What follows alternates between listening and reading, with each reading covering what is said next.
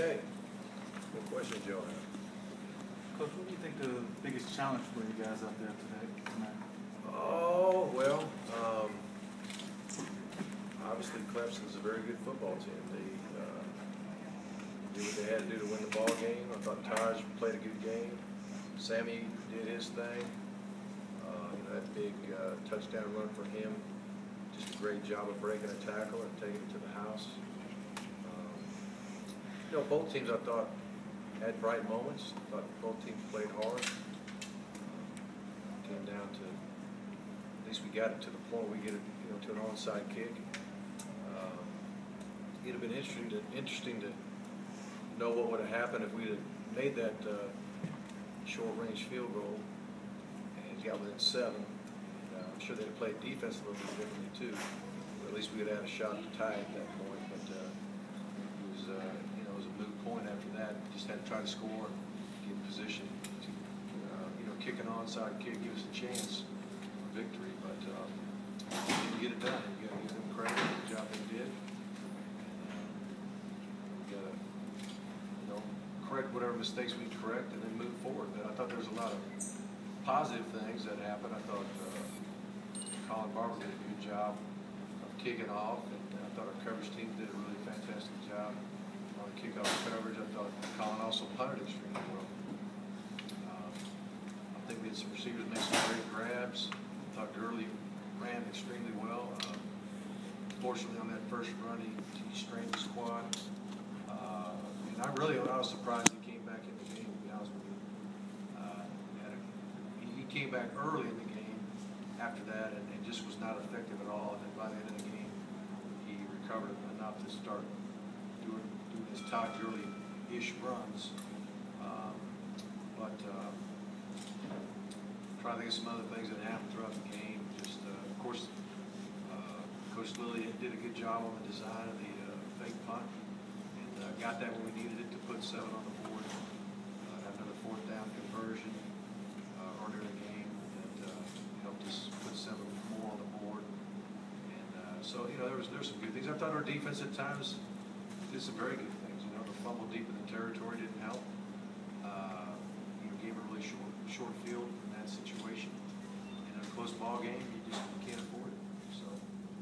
uh, Anyway, next question. Coach, you guys play in a lot of tough environments week in, week out. How does this one compare to the, to what you see week in, week out Yeah, It's pretty typical, really. I mean, it's, it's tremendous atmosphere without any question. I'm not demeaning uh, what Clemson has here because they, they do have a great atmosphere, we go to a lot of stadiums that have that type of atmosphere, so um, that's, that's pretty typical for us. Coach, is this a good measure of who you thought your team was at this point? Uh, we learned a lot. I, I think, um, I think we had some uh, guys, you know, make some really gutty plays. I thought they played, thought they played tough uh, in a lot of situations. A couple plays got away from us uh, defensively. Uh, offensively, we, uh, you know, we did a good job of moving the ball and scoring. I mean, it, you know, we got some scores and got some yards and all that kind of good stuff, but uh, we didn't win, and we didn't finish the one drive, but we had to kick a field goal. If we could have knocked it in, we wouldn't be worried about, you know, how high the snap was, maybe on the extra point, might have been a factor, but, um, you know, um, I thought we did, I thought we did some good things, and did some things that get you beat, so we'll find out how good we are next week. How frustrating were those penalties? Yeah, there's some penalties that hurt us. Uh, there's some penalties we overcame and some penalties we couldn't overcome.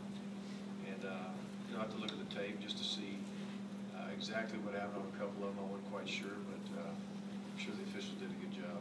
Could you Where- tell there were some times when um, some of your injuries or experience on defense sort of hurt you in some places? Well, I mean, I don't want to call anybody out or anything like that. I mean, everybody's got injuries, everybody's got issues. Um, and we, we played the best that we had available at the time. And, uh, you know, I I appreciate all the players' effort. We just, uh, weren't good enough tonight to get it done with Clemson. We gotta give them credit. How frustrating was that, the drive to start the third quarter when it looked like y'all could have, you know, could have maybe done something? Yeah, I mean, it'd been nice to have something good happen there. Um, You know, delay a game was, it was, it was our fault as coaches. Uh, We did a bad bad job of uh, getting them out on the field quickly enough, especially to uh, be running a play where we get into our cadence and then try to make a change after we see what they're in and all that. It just takes too much time.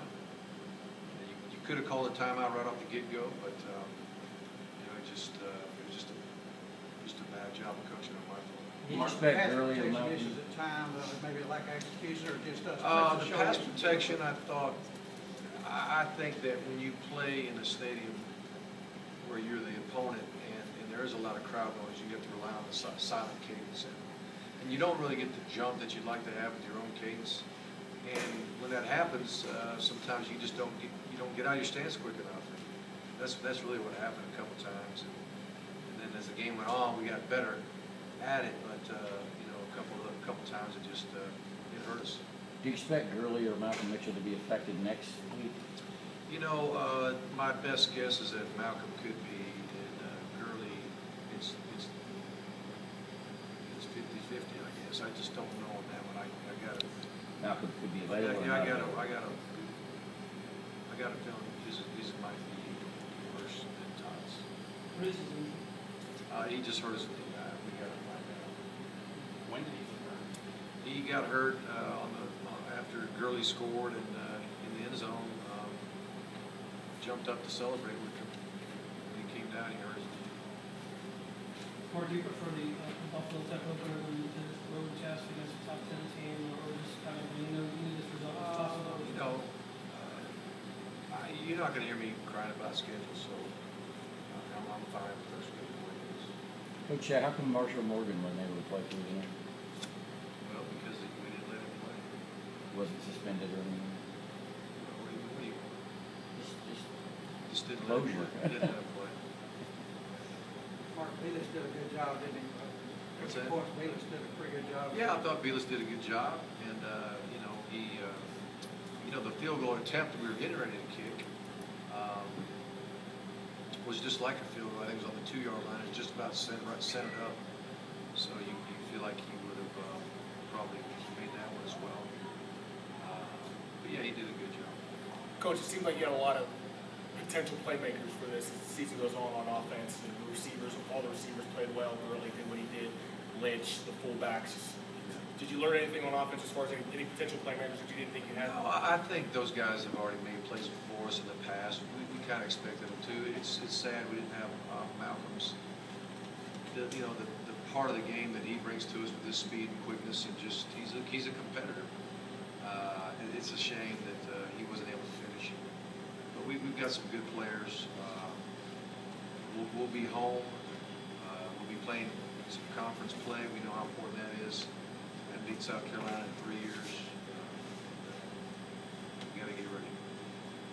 Coach, how do you summarize your uh, quarterback's play today? Well, overall, I thought he played pretty good. The fumble, uh, you know, was unfortunate. We, we gotta squeeze the ball better. That, that was a, that was a tough turnover right there. And, uh, it cost us the short field and seven points. Uh, the pick, that, that happens sometimes. It was a, it was a good scheme. Uh, their backside defensive end dropped into covers. They had a, what we call a fire zone. On the front side, picked up the blitz well. And then we had a, we had a route that was breaking from left to right.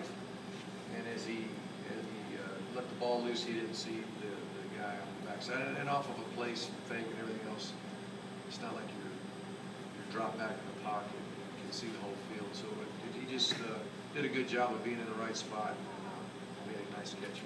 Coach, uh, going forward, how upset are you going to be about the opportunities you guys might have missed? You stopped in two series in a row, got the ball. With a team like that, you have to capitalize. Yeah, we do. We, we, we had our chances. Uh, we got some good stops from our defense. Uh, thought we had a good plan. I thought we did a good job of getting lined up. You know, they, they go, they do go fast, as fast as anybody we played. And uh, for a young bunch of guys to get lined up, be ready to play the next play, and uh, you know, we didn't give them any freebies because of uh, not being lined up, not being organized. So we did have some nice plays defensively. You know, a few lapses too, obviously. But, uh, you know, you're right. We, when we got some stops in, a- in a game of two pretty darn good offensive football teams, you gotta, you gotta find a way to get, get the lead, get the chance. Coach, going back to Murray, he had a couple, quite a few uh, sacks tonight. Is there anything in that line that, that needs to be adjusted to Well, like I said before, um, I think, I think a lot of it had to do with just not getting off the ball quick enough. Uh, I think the crowd noise had a little something to do with that, especially, uh, when you get into a rhythm, uh, of your snap that's, that's, you don't have sound, you're, you're going off of a, um, you know, a guard basically tagging the center, letting the center know he can snap at any moment. Uh, after a while, that gets a little rhythmic, and not only do we get off on the snap, they, they get off on the snap as well. But normally, if you have the ability to have your cadence and hear it, we could change it up enough to where um, we could get the jump on them. So I think that was the biggest problem. Obviously, that run time is supposed to be pretty big next Saturday. Are you concerned about the performance over there on Saturday? Uh, no, I think, I think once we, again, the times we got beat, in my opinion, we just got beat off the snap. And We'll have our cadence next week, it'll help. If we were at South Carolina, it'd be a little bit tougher, but I think it'll, it'll help if we get off on the cadence. Is there anything you take away from, I know you're not even hold the Vickers necessarily, Todd's out for a big chunk of the game, Ryan's out for the time, still a five minutes of offense. Yeah, well, you know, moving the ball's fun and all that, but uh, winning the game is what it's about, so How much, we're not gonna celebrate that. And how much has experience in the past couple of years, having early losses, help you realizing it's still twelve? Yeah, I think our guys, uh, I don't see anybody in there ready to jump off a bridge or anything. I think they all know that. That happens, in you know, that happens in football. You play a really good football team, you could get beat. If you do, then you, you move on. You, you continue to play well and get better, make corrections. And, uh, We're still learning a lot about this team. We're, uh, And, you know, we will get some, uh, we'll get some firepower back defensively. We'll get some more, uh, we get some more veteran play coming back, which will help us, I think. It'll help on specials as well. Uh, and I think that uh, Corey Moore will be back. We'll have, uh, Josh Harvey-Clemons back. I think Brendan Douglas will be back. There's another guy had something on. He's supposed to be back. AJ Turman will be back. So there'll be at least four guys, you know, coming back uh, that I think will fortify our special teams and uh, fortify our defense as well. Got time for one more? Uh, Coach, what specific attributes of South Carolina are you guys focusing on going into next week? Well, what I saw on TV Thursday night was they're, they're, up front, they're very big and physical, both sides of the ball. Um, You know, Connor Shaw is, is a very difficult quarterback to manage and and how he runs the football and, and, uh, he's, he's, he threw the ball extremely well. You know, Mike, uh, Da- Davis, their, their new back, really, uh, played extremely well, looked very physical as a runner. Um, They, they just, they do a good job all the way around. Thank you. Thanks.